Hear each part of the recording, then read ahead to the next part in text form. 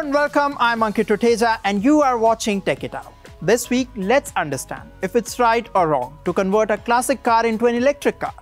We explain how technology is set to transform the Paris 2024 Olympics. And we bring you a wrap of all the latest tech breakthroughs. Let's get started.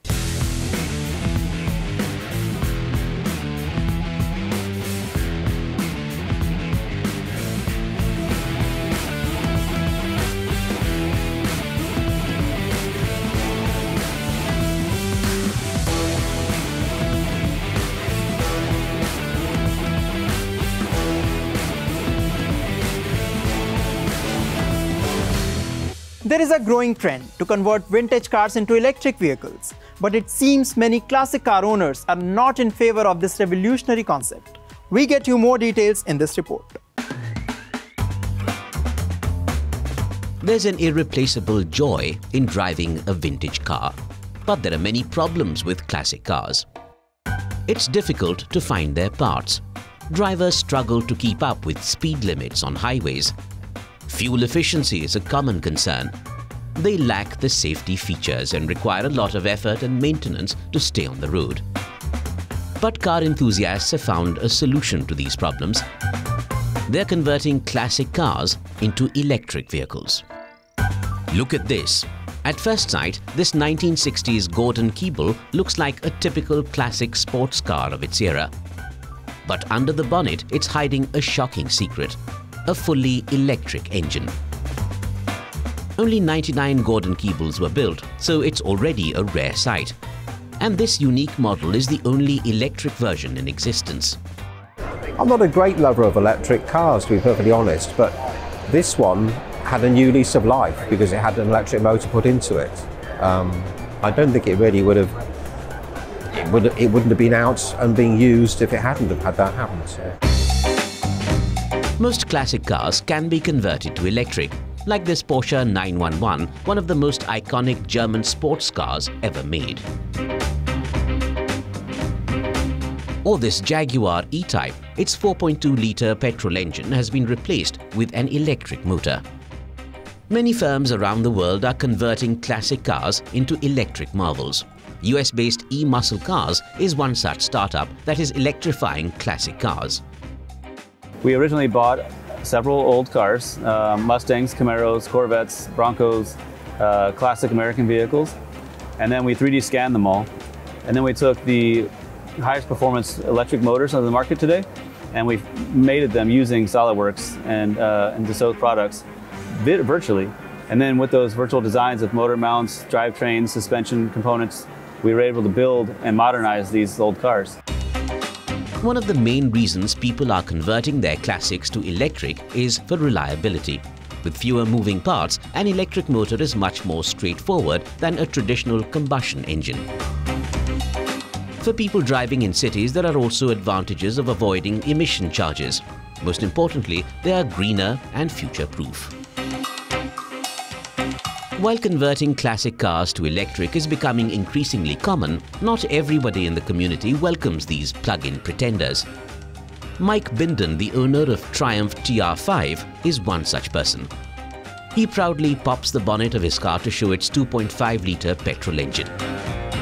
Mike Binden can never imagine converting his pride and joy to electric. Changing one of these cars to electric would some ways be a sin. I think we have to acknowledge that these cars have very limited use. So the emissions which they produce over a, a given amount of time, I think is really small.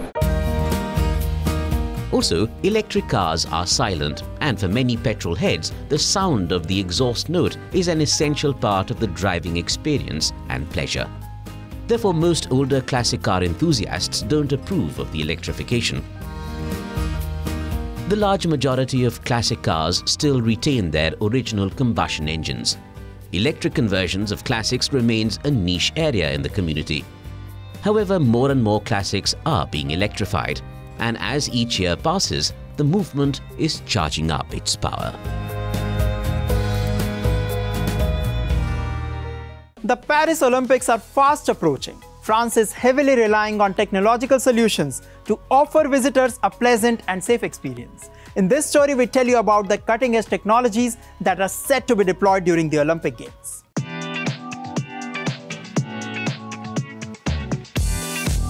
Paris is gearing up to host the 2024 Olympics. The Summer Olympics will be held in the French capital between July 26 and August 11. With preparations in full swing, technology is at the forefront of it all. Digital innovations are poised to shape the spectator experience.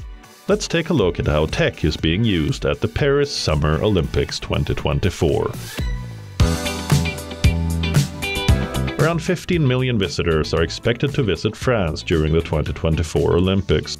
Maintaining the safety of thousands of athletes and millions of audience is not going to be an easy task. This is where tech comes into picture. France is experimenting with AI-enabled video surveillance. Smart cameras have been deployed across Paris and on public transport. The AI-enabled cameras can detect crowd surges, fires, abandoned bags, and unusual or risky behavior, ensuring the safety of millions of spectators traveling to Paris for the Games. À l'heure actuelle, nous avons équipé 150 sites. We currently have 150 sites equipped, which equates to 3,255 cameras. It's impossible for a human being, a video operator, to watch 3,255 cameras in real time. So, this system, using a thermal camera, gives us instant information on anyone entering a site. It's called an intruder alarm and it allows us to intervene quickly with the police since we can send images to headquarters so we can resolve a criminal act very quickly. Et donc ça permet de, de résoudre euh, un acte délictueux très rapidement. The AI-enabled surveillance was successfully tested at a concert that took place at the Accor Arena in Paris. The meandering metro, which features more than 300 stations, has names that can be hard to find or pronounce, even for natives. It can easily become a nightmare for anybody without fluent French. So, how will millions of visitors without knowledge of French or even English use public transport to shuttle between sports venues? Enter Tradivia. The Paris Metro has launched an instant translation app ahead of the Olympic Games to help hapless foreign visitors navigate the French capital's urban transport system. Powered by AI, the app will guide lost visitors during the Olympics.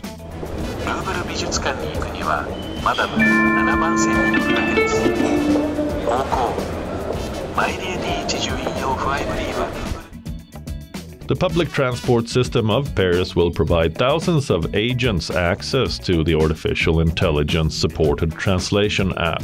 It can handle 16 languages. The app translates spoken queries in languages such as English, German, Mandarin, Hindi, and Arabic into French for the benefit of agents.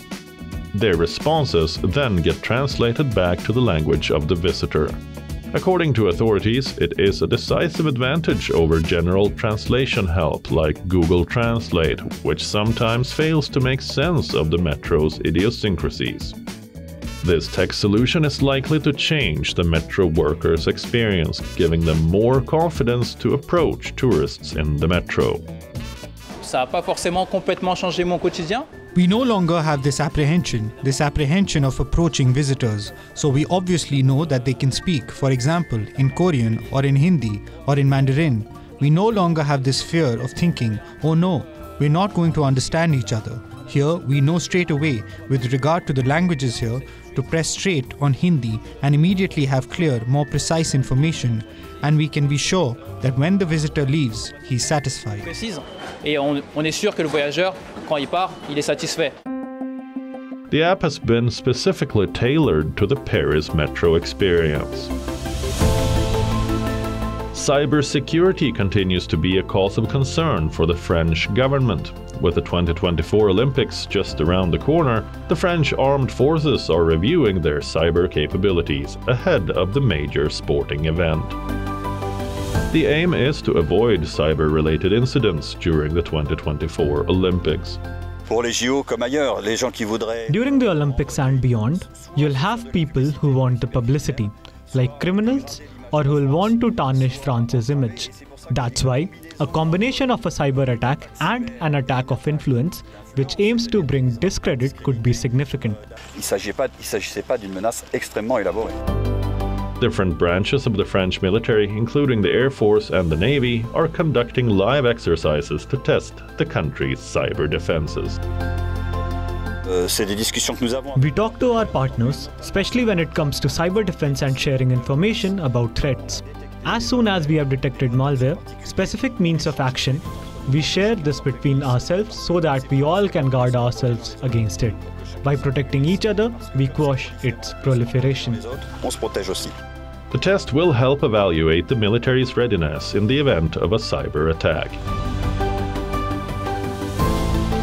With the biggest names in sport preparing to play at the Olympics, let's see which country manages to claim the first spot and clinch the highest number of medals at the Paris Olympics 2024.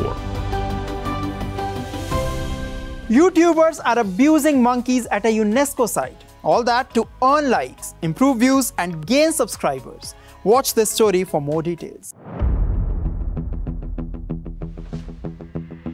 Are you guilty of watching animal videos on the internet? Especially monkey videos on YouTube?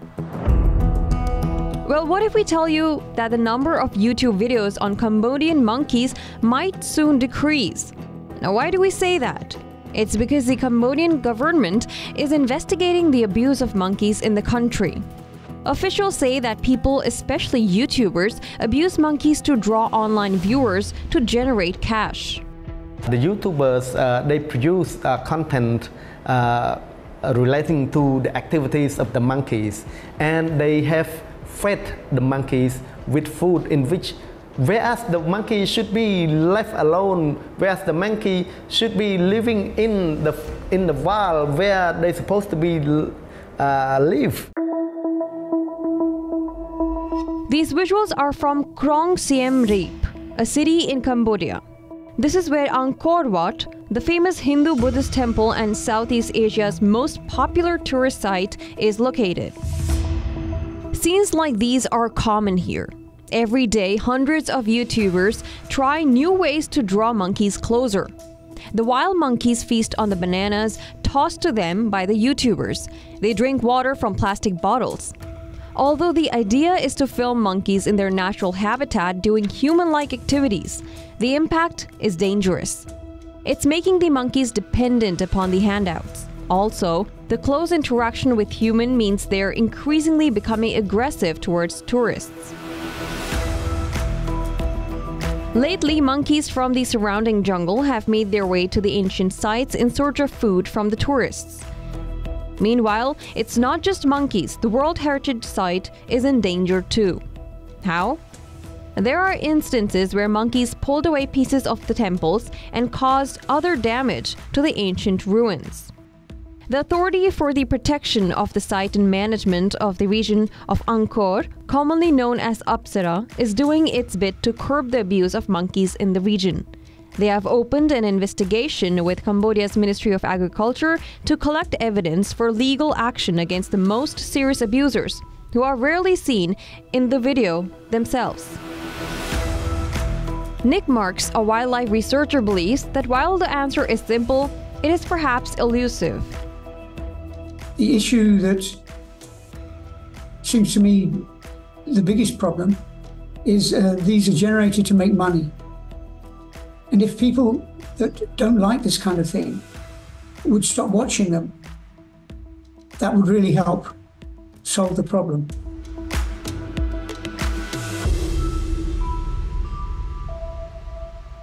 We have shared with you a lot of interesting stories on emerging tech trends, but there is a lot more that's happening in the world of technology across the globe. Here is a quick wrap of all the latest breakthroughs. This is the biggest day for iPad since its introduction.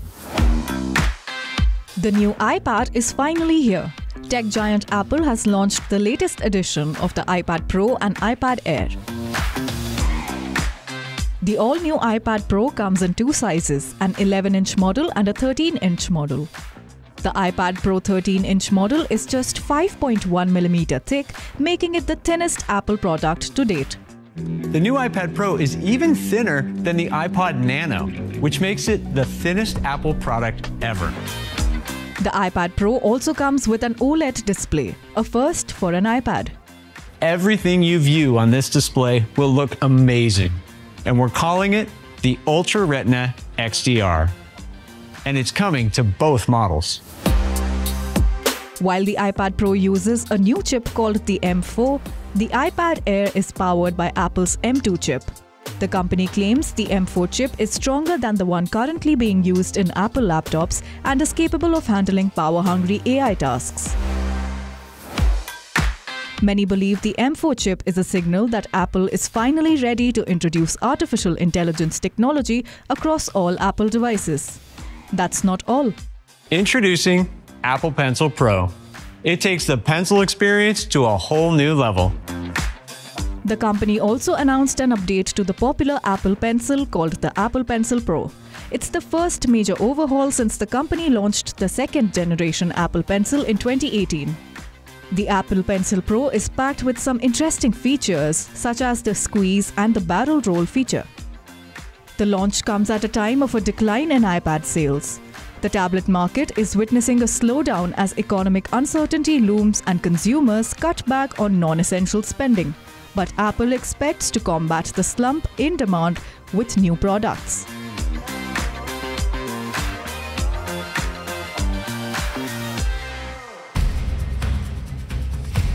Look at this. From shooting simulators to kamikaze drones, cutting edge defense technology took center stage at a defense exhibition in Malaysia's capital. Held every two years, the Defense Services Asia trade event draws hundreds of exhibitors from around the globe to Kuala Lumpur. Among the bustling crowds, attendees were greeted with demonstrations of cutting edge defense technology that is aimed at enhancing military capabilities and security measures. At the exhibition, one local company introduced its new shooting simulator. It uses infrared technology to revolutionize the marksmanship training of military personnel. The simulator features five infrared sensors and cameras that can accurately calculate the bullet's trajectory to hit the target. As you can see in our booth, there are five uh, IR sensors, cameras, which detects a trigger from our uh, gun, our rifle, and then from there we will calculate the bullet trajectory based on distance, gravity, wind, and also environmental uh, elements. And we will correctly get the hits, hit zones in the simulator itself. This advanced training tool offers realistic scenarios for handling different types of weapons, including handguns and assault rifles. Another local firm unveiled its kamikaze drones named Todak. This unmanned aerial vehicle is designed to loiter around target areas and deliver precise strikes. Basically, kamikaze, kamikaze drone uh, role is basically to fly and forget. So it's meant to damage or uh, hit a particular target. Uh, in, in, in our case, our drone can fly up to 40 kilometers. So we can set, set it to, to hit or to reach a, a particular a predetermined target. Although still in the research and development phase, the company plans to bring the Todak to market within the next six to eight months. According to the organizers of DSA, the event generates significant economic spin offs across various sectors.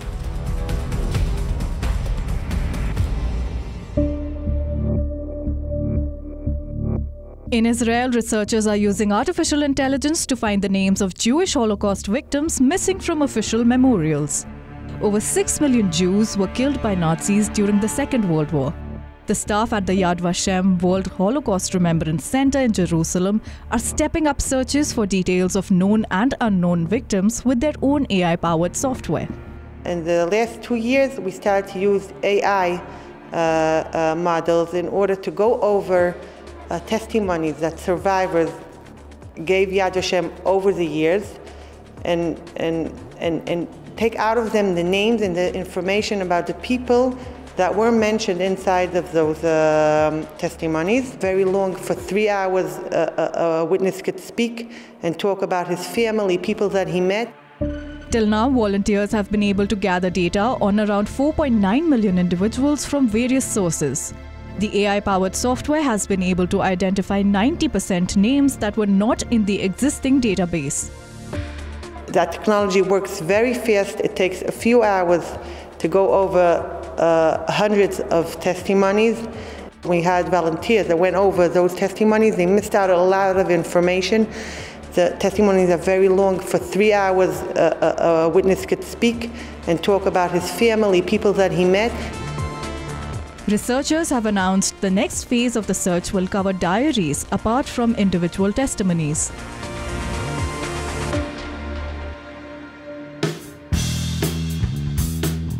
If doing daily chores like taking out the trash isn't your cup of tea, robots might just be the solution to your problem. Neura Robotics, a Germany based company, is all set to launch an AI robot called For Anyone. The humanoid AI robot aims to tackle mundane tasks, lending a helping hand to its human whenever required. It should be able to take our garbage out. It should be able to do things which we don't like to do and not the things we love to do. It's like drawing pictures or making, you know, writing nice stories or making movies or whatever. This is something what everyone would love to do, but we simply don't have time for that. And to get some time, we get this one. The For Anyone robot is still under development. The company is yet to announce its release date and pricing.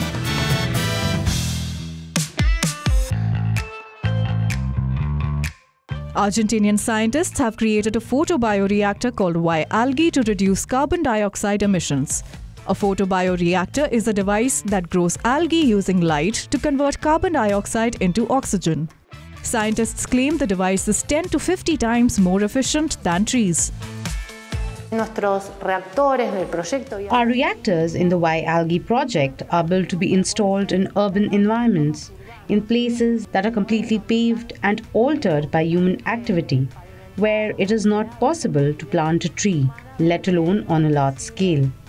So we always say that we plant a tree where it is possible to plant a tree, but where it is not possible, we have this option. Eh, tenemos esta posibilidad. Interestingly, each device can convert around 500 kilograms of carbon dioxide annually.